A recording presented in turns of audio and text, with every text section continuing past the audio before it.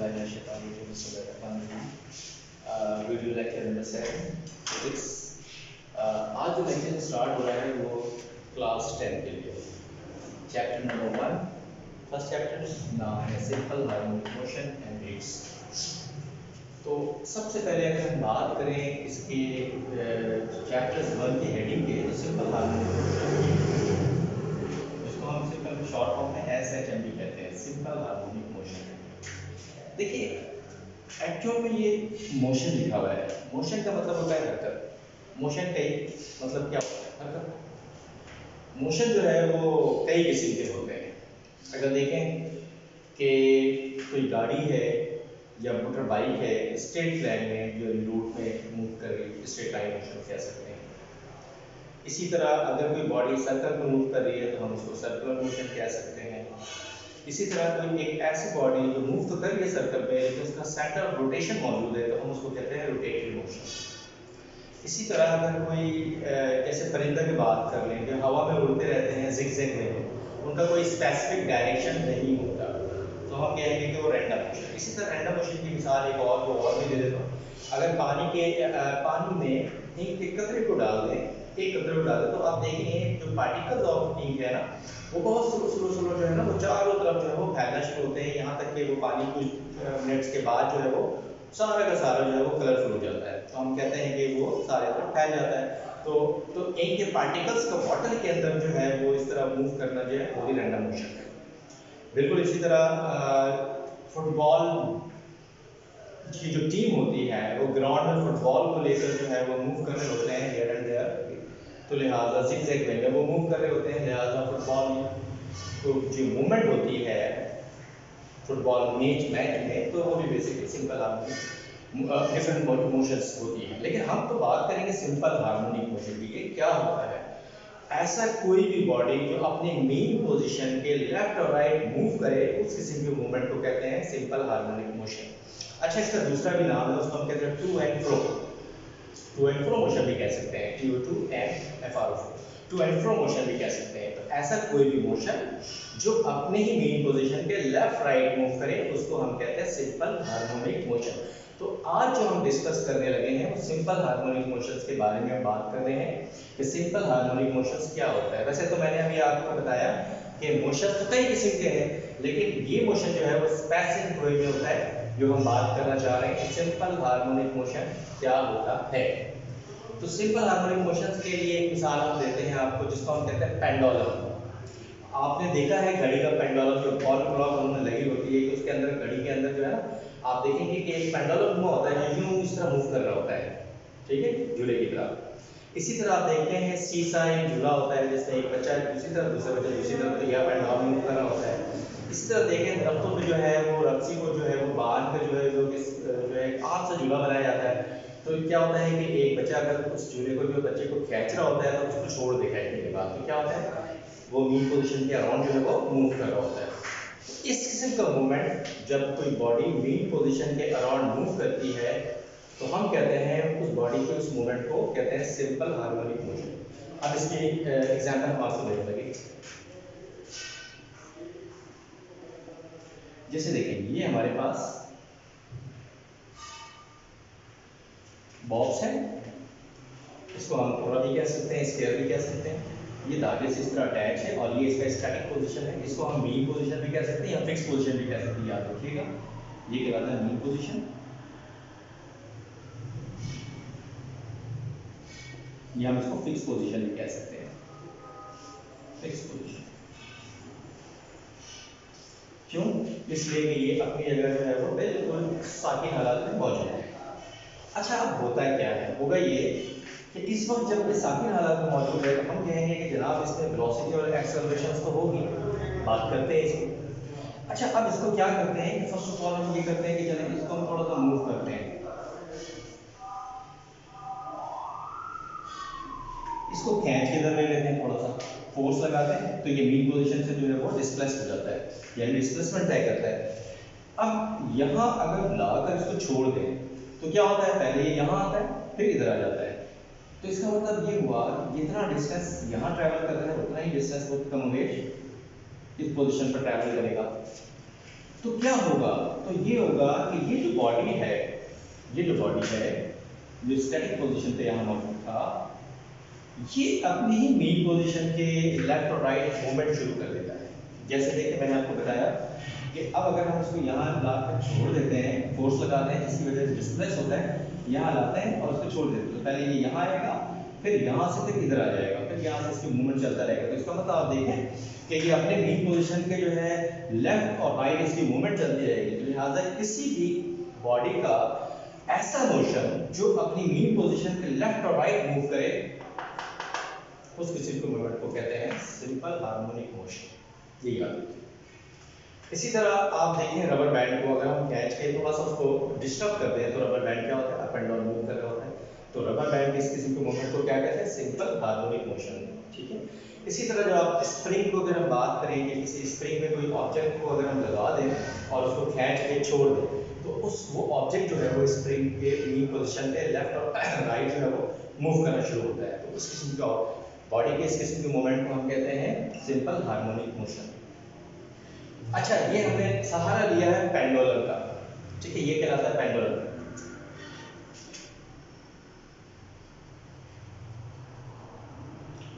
Pendulum अच्छा अब ये पेंडोलम जो है,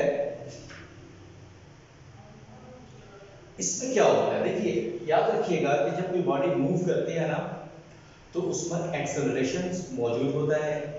और वेलोसिटी की बात भी करते हैं। लेकिन इससे पहले कि हम एक्सेलरेशन या वेलोसिटी की बात करें, हम ये समझाते हैं आपको कि जब हम इस बॉडी पर फोर्स लगाते हैं और फोर्स लगा के थोड़ा सा इसको आगे की तरफ़ ले जाते हैं कि जितना ज़्यादा हम फोर्स अप्लाई करते हैं, उतना ज़्यादा ये डिस्प्लेस होता है। इसका मतलब ये होता है कि ये जो बॉडी है, ये जो बॉडी है, इस पर फोर्स जब हम अप्लाई करते हैं तो जितना फोर्स लगाते हैं, उतना ही फोर्स जो है, उतना ज़्यादा डिस्प्लेस होता है। तो याद रखिएगा फोर्स इसके डिस्प्लेस के डायरेक्टली प्रोपोर्शन होता है। फोर्स अगर हम कम अप्लाई करेंगे तो ये यहाँ तक आएगा, इसका मतलब जो है डिस्प्लेस कम हो जाएगा। फोर्स फर्दर हम बढ़ा देंगे तो ये यहाँ से मीन पोजिशन से यहाँ आ जाएगा। फोर्स आगे बढ़ा देंगे तो ये मीन पोजिशन से यहाँ आ जाएगा। ये जितना ज़्यादा फोर्स लगाएँगे, ये उतना ही ज़्यादा डिस्प्लेस करेगा। तो हमने आपको बताया कि फोर्स जो है, वो मीन पोजिशन के, इसके डिस्प्लेस के डायरेक्टली प्रोपोर्शन होता है। डायरेक्टली प्रोपोर्शन होता है। याद रखिएगा, जितना ज़्यादा फोर्स अप्लाई करते हैं, उतना ही ज़्यादा ये डिस्प्लेस होता है। डिस्प्लेस का मतलब किसी मखसूस डिस्टेंस में मूव कर जाना या शिफ्ट में मूव कर जाना फ्रॉम इट्स मीन पोजीशन इसके मीन पोजीशन से। तो याद रखिएगा कि जब हम यहाँ लाकर छोड़, यहाँ ले आते हैं, इसको छोड़ देते हैं। अच्छा याद रखिए, जब हम यहाँ लाकर इसको छोड़ते हैं ना तो क्या होता है कि इसकी जो है, वो मूवमेंट जो है, वो लेफ़्ट की तरफ़ वापस आती है। लेकिन याद रखिए मीन की तरफ़ यहाँ मीन पोजीशन या फिक्स पोजीशन पे आकर रुकेगी नहीं। बल्कि इनर्शिया एक प्रॉपर्टीज़ होती है मोशन की, उसकी वजह से ना वो आगे की तरफ़ मूव करेगी लेफ़्ट की तरफ़ मूव करेगी। ये कि यहाँ तक आ जाएगी। ठीक है? और ये इसका याद रखिएगा एक्सट्रीम पोजीशन होता है। ये दोनों इसका एक्सट्रीम पोजीशन फिर वापस जो है वो बैक जाएगी। चूँकि इसके अंदर डिफॉर्मेशन फोर्स होता है जो इसको वापस इसकी ओरिजिनल पोजीशन पे लाने की कोशिश करती है। वापस इधर आएगी, इधर यहाँ आने के बाद अगेन ये इनर्शिया की वजह से यहाँ स्टैक नहीं होती स्टैटिक पोजीशन पर नहीं आती बल्कि ये जो है वो आगे की तरफ़ चली जाती है नशे की वजह से, ठीक है? तो इस तरह इसकी टू एंड फ्रो मोशन चल रही होती है। अब याद रखिएगा कि यहाँ जो है वो ये इसका मेन पोजीशन है, ये है एक्सट्रीम पोजीशन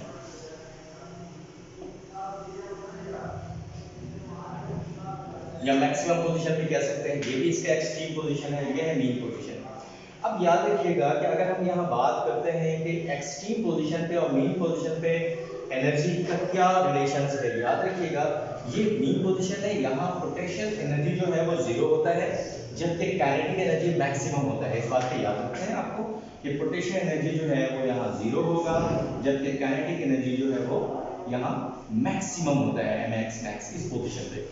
इसी तरह जब हम इसको यहाँ लेकर आते हैं तो ज़ाहिर सी बात है, ये देखिए इस पोजीशन से ये थोड़ा सा डिस्प्लेस हुआ है इससे कुछ हाइट अटेंड किया है। तो जब हाइट अटैक कर लेता है बॉडी तो हम कहेंगे कि अब इस पोजीशन पे इसकी पोटेंशियल एनर्जी जो है वो मैक्सिमम हो जाती है और काइनेटिक एनर्जी जो है वो ज़ीरो हो जाती है। इसका मतलब ये हुआ कि जैसे जैसे ये ऊपर की तरफ़ जा रहा है, इसकी काइनेटिक एनर्जी में कमी, जबकि पोटेंशियल एनर्जी में इजाफा हो रहा है। यहाँ तक ये एक्सट्रीम पोजीशन पे आता है कि सारी की सारी काइनेटिक एनर्जी इस पोजीशन पर आकर पोटेंशियल एनर्जी में कन्वर्ट हो जाती है। तो हम कहेंगे कि ये जो एक्सट्रीम पोजीशन है, इस पोजीशन पर काइनेटिक एनर्जी ज़ीरो हो जाती है और पोटेंशियल एनर्जी मैक्सिमम हो जाती है।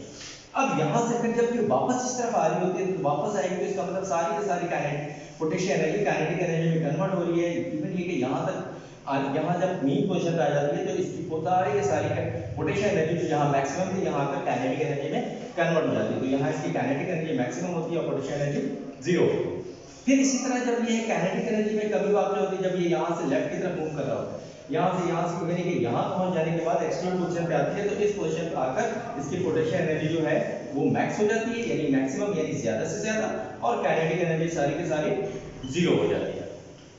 सारी की सारी ज़ीरो हो जाती है।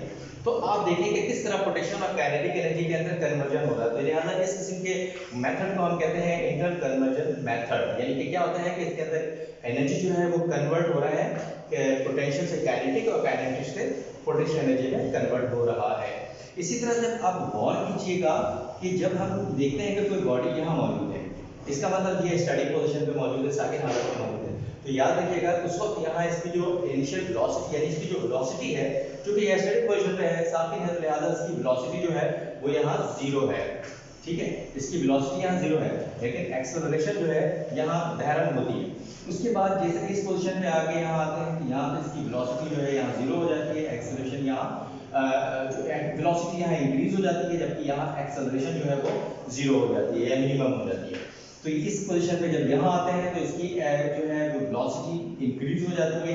लिहाजा चूँकि यहाँ ज़ीरो यहाँ इंक्रीज हो जाती है एक्सट्रीम पोजीशन पे और यहाँ आके इसका एक्सेलरेशन जो है वो ज़ीरो हो जाता है। तो एक्सेलरेशन और वेलोसिटी का भी रिलेशनशिप यहाँ नज़र आ रहा है और यहाँ हम पोटेंशियल एनर्जी और काइनेटिक एनर्जी के दरमियान कन्वर्जन भी जो है वो समझ रहे हैं। और ये हमें बता रहे हैं कि किस तरह जो है सिंपल हार्मोनिक मोशन में ये बॉक्स जो है वो मूव कर रहा है अपने मेन पोजीशन के अराउंड तो याद रखिएगा, कोई भी ऐसी बॉडी जो अपने मेन पोजीशन के लेफ़्ट और राइट मूव करता हो तो हम कहते हैं कि वो बॉडी जो है वो सिंपल हार्मोनिक मोशन में मौजूद है। अच्छा अब इसके कुछ कंपोनेंट्स की भी बात कर हैं याद रखिए वाइब्रेशन से चलिए वाइब्रेशन की बात करते हैं। वाइब्रेशन का मतलब ये होता है कि जैसे याद रखिएगा, हम यहाँ बॉडी को लाते हैं और छोड़ते हैं। तो इसको कहते हैं one complete round trip what is mean position अपने मीन पोजीशन में एक कंप्लीट राउंड ट्रिप कंप्लीट करता है. जैसे मिसाल के तौर पर जैसे हम यहाँ लाके जब बॉडी को छोड़ते हैं ना तो पहले देखिए बॉडी यहाँ आया, फिर यहाँ ये हाफ़ हुआ. फिर वापस यहाँ आकर अपनी ओरिजिनल पोजीशन पे आ जाता है. तो यहाँ जब पहुँचता है, वापस आ रिटर्न आ जाता है तो हम कहते हैं कि इसका एक राउंड जो है वो कंप्लीट हो जाता है. तो लिहाजा ये कहलाता है वाइब्रेशन यानी इससे एक वन वाइब्रेशन कंप्लीट कर लिया है। इसी तरह अगर कोई मूविंग बॉडी है, यहाँ से स्टार्ट हो रहा है ये मूव कर रहा है, वापस आता है, वापस अपनी ओरिजिनल हाथ कंडीशन पे आ जाता है तो हम कह सकते हैं, यहाँ पहुँचने के बाद इसने एक वन वाइब्रेशन कंप्लीट कर लिया है। लेकिन सिंपल पेंडोलिक पॉइंट ऑफ़ सोचेंगे ज़ाहिर बात यहाँ लगा छोड़ेंगे तो ये ये हाफ़ वाइब्रेशन हुआ, फिर वापस अब ओरिजिनल हालत में यहाँ इस पोजीशन पे आ जाएगा तो हम कहेंगे कि ये एक कंप्लीट जो है वो वाइब्रेशन जो है उसने कंप्लीट कर दिया है। तो ये है वाइब्रेशन की कॉन्सेप्ट के लिए आपको समझ आएगा कि वाइब्रेशन होता है क्या है। अच्छा इसके बाद अगर हम मजीद आते हैं कि टाइम पीरियड पे आ जाते हैं। टाइम पीरियड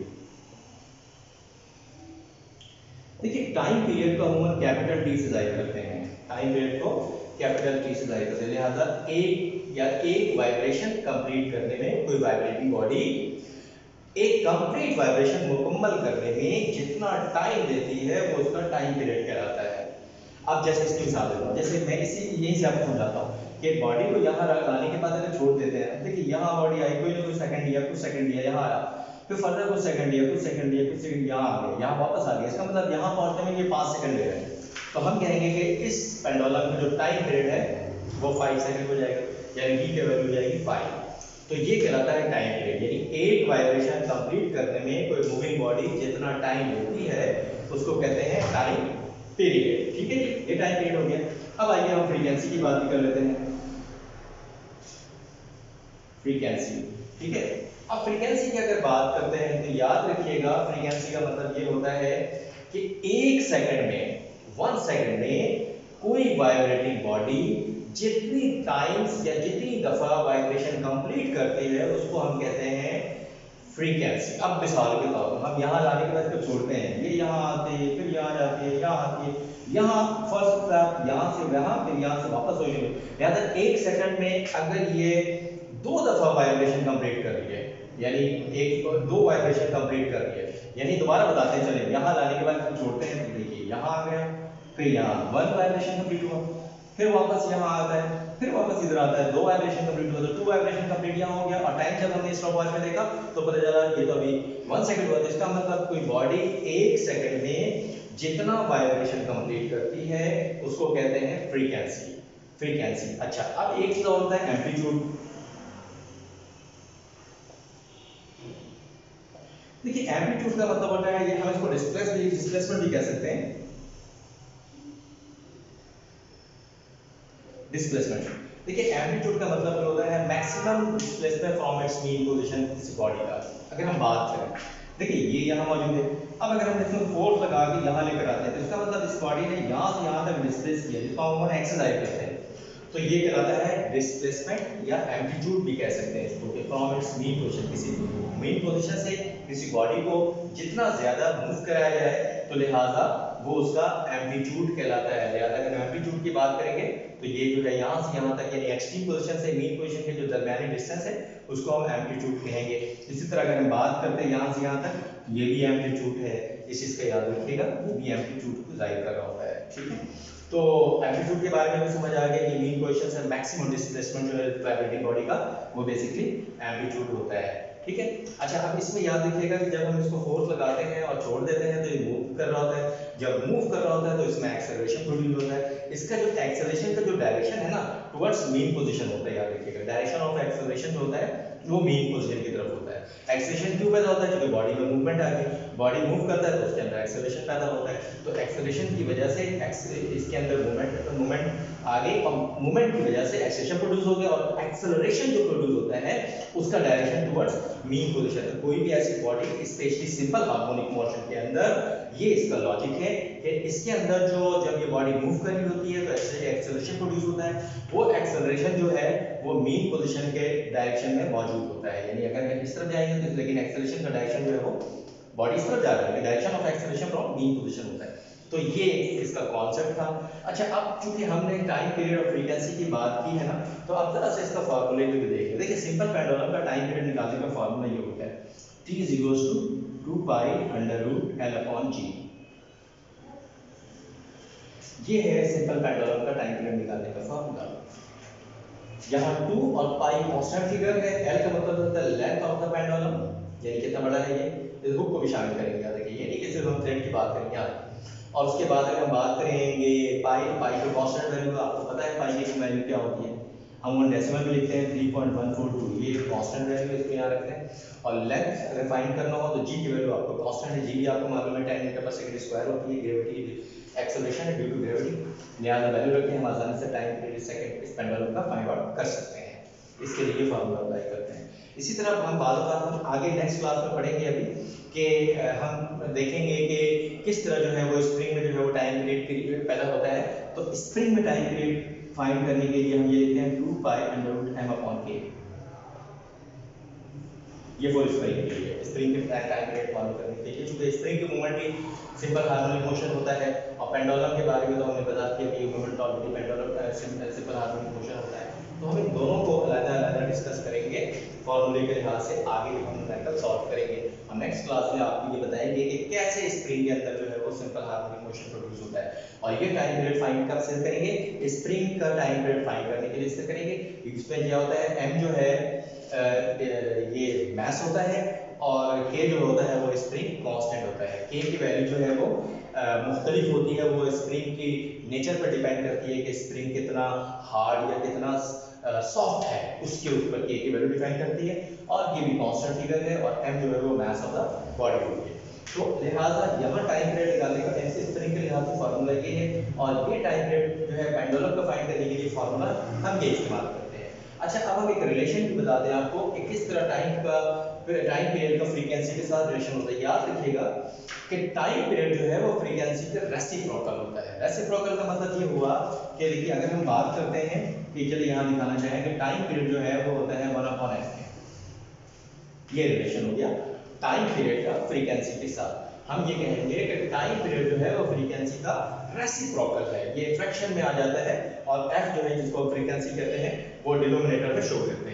लिहाजा, अगर आपको टाइम पीरियड गिवन हो और फ्रीक्वेंसी फाइंड करने कहा जाए you will have to use this type of formula इस किस्म के फार्मूले का इस्तेमाल करके फ्रीक्वेंसी मालूम कर सकते हैं। इसी तरह, अगर आपको फ्रीक्वेंसी गिवन हो और टाइम पीरियड मालूम करना हो तो आप ज़रूरी ये फार्मूला इससे तो बनेगा ही। आप आसानी से फ्रीक्वेंसी की वैल्यू यहाँ रखेगा और टाइम पीरियड यहाँ से फाइंड आउट कर सकते हैं। तो ये एक रिलेशन भी हमने बता दिया कि टाइम पीरियड का फ्रीक्वेंसी के साथ क्या रिलेशन है। ठीक है तो टाइम पीरियड फ्रीक्वेंसी का रेसिप्रोकल होता है। लिहाजा इसको हम इस तरह भी लिख सकते हैं कि अगर हम एफ़ की बात करें तो ये क्रॉस मल्टीप्लाई करें तो ये वन अकाउंट टी में कन्वर्ट हो जाता है। तो ये है आज इस तरह हम जो है देखते हैं। तो आज हमने जी ये लेक्चर आपको दिया है जैसे सिंपल अभी हमने बात की है सिंपल हार्मोनिक मोशन की, और हमने ये बताया कि सिंपल हार्मोनिक मोशंस क्या होते हैं। वैसे तो मोशन कई किस्म के होते हैं, लेकिन कोई ऐसी बॉडी जो अपने ही मेन पोजीशन के लेफ़्ट राइट मूव करे, उसको सिंपल हार्मोनिक मोशन कहते हैं। उसमें मैंने कई मिसाल दी, लेकिन सिंपल पेंडोलम या पेंडोलम को हमने यहाँ यूज़ किया है, और बता दिया है कि किस तरह इसकी मूवमेंट होती है। ये अपने ही मेन पोजीशन के लेफ़्ट राइट मूव कर रहे हैं। हम कहेंगे ये पेंडोलम की जो मूवमेंट है, वो सिंपल हार्मोनिक मोशन है। फिर हमने आपको बताया कि इसमें किस तरह एनर्जी में चेंजिंग आती है, कहाँ काइनेटिक एनर्जी ज़्यादा, कहाँ पोटेंशियल एनर्जी मैक्सिमम कम होती है, इस तरह। और फिर हमने ये बताया कि जब ये मूव कर रही होती है तो इसमें एक्सेलेशन प्रोड्यूस होता है और एक्सेलरेशन का जो डायरेक्शन होता है टुवर्ड्स मेन पोजीशन होता है, और फिर वेलोसिटी होती है, फिर हमने ये बताया कि इस पोजीशन पे वेलोसिटी ज़ीरो और किस पोजीशन पे वेलोसिटी मैक्सिमम होगी और कहाँ एक्सेलरेशन ज़ीरो और कहाँ मैक्सिमम होगी। उसके बाद हमने आपको छोटी सी ये बात बताई है कि वाइब्रेशन क्या होता है। वन कंप्लीट राउंड ट्रिप जैसे मैंने बताया कि यहाँ से छोड़ते थे यहाँ, फिर यहाँ जाती है वापस। तो हम कहते हैं ये वन वाइब्रेशन से कंप्लीट कर लिया स्पाइनोलम ने और इसी तरह टाइम पीरियड के बारे में बताया कि वन सेकंड में कोई बॉडी जितनी जो है वो वाइब्रेट करता है कोई बॉडी तो हम उसको टाइम पीरियड कहते हैं, एक सेकंड में ठीक है ना? एक सेकंड यानी अगर हम ये बात करते हैं टाइम पीरियड में कि एक वाइब्रेशन कंप्लीट करने में जितना टाइम लेता है बेसिकली वो टाइम पीरियड है, और एक सेकंड में जो वाइब्रेटिंग बॉडी जितनी दफ़ा वाइब्रेट कर रहा होता है, उसको बेसिकली फ्रीक्वेंसी का नाम देते हैं। और एम्पलीट्यूड का मतलब मैंने बताया था कि डिस्प्लेसमेंट अगर कहते हैं फ्रॉम इट्स मेन पोजीशन किसी वाइब्रेटिंग बॉडी का, ये बॉडी का तो हम ये कहेंगे कि जितना ज़्यादा डिस्प्लेस करेंगे तो उतना ही ज़्यादा इसका एम्पलीट्यूड होता है। तो हमने कहा कि इसका मतलब डिस्प्लेसमेंट जो है वो फोर्स पे डायरेक्टली प्रोपोर्शनल होता है कि जितना ज़्यादा फोर्स होता है, उतना ही ज़्यादा जो है वो डिस्प्लेस करेगा। और इसके बाद फिर हमने छोटा सा फार्मूला लेके बताया गया कि इस फार्मूले की मदद से हम न्यूमेरिकल सॉल्व करेंगे, इसको यूज़ करना पड़ेगा आगे। ये फार्मूला बेसिकली टाइम पीरियड निकालने के लिए होता है, जिसमें एल अपॉन जी और 2 pi under root L upon G ये चैप्टर पर डेवलप फाइंड करने के लिए करेंगे। और ये फार्मूला जो टाइम पीरियड का है 2 पाई एल अपॉन के ये हम, जब हम स्प्रिंग में टाइम पीरियड की बात करें सेकंड टाइम पीरियड की बात करेंगे तो फिर हम ये फार्मूला अप्लाई करेंगे। और फिर हमने बताया कि रिलेशन क्या है टाइम का फ्रीक्वेंसी के साथ यानी टाइम पीरियड का। तो लिहाजा हम ये देखेंगे कि टाइम पीरियड जो है वो फ्रीक्वेंसी के इनवर्स प्रोपोर्शनल होता है या इसका रेसिप्रोकल होता है। और टाइम पीरियड को हमेशा कैपिटल टी से यूज़ कर लिखते हैं स्मॉल टी हम नहीं लिखते। तो आज की क्लास जो है वो यहाँ काफ़ी है और प्रैक्टिस कर रहे हैं उम्मीद करते हैं कि आप इसको बार बार देखेंगे ताकि आपका इसका कॉन्सेप्ट क्लियर हो। अल्लाह हाफ़िज़।